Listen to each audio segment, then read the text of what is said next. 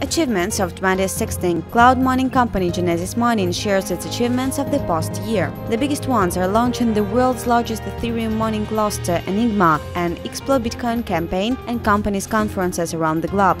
One of the most remarkable achievements is Genesis Mining CEO Marco Streng being featured in Forbes and the Wall Street Journal.